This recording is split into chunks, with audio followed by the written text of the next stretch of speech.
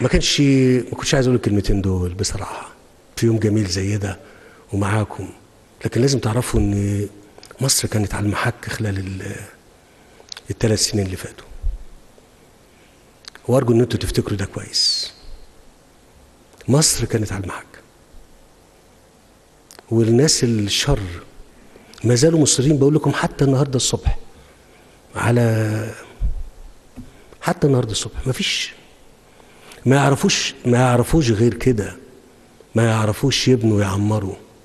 هم يعرفوا يقتلوا ويخربوا ويدمروا. لكن آه، بقيت شعب مصر عايز يبني ويعمر. أنا آخر كلمة هقولها لكم. يا شباب مصر أمن مصر واستقراره ومستقبله مش أنا بس اللي شايله في رقبتي. إحنا شايلينه كلنا مع بعض.